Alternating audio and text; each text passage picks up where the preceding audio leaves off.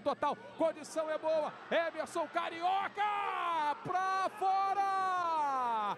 Inacreditável! Tava caído pro outro lado Lucas Perry. Emerson Carioca, condição era legal. E que chance perde a portuguesa!